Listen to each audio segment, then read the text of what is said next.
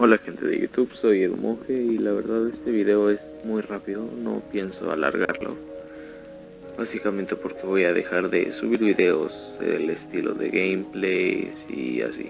Solo voy a subir contenido de mis juegos, ya sea soundtrack, trailers y cualquier cosa que vaya a hacer.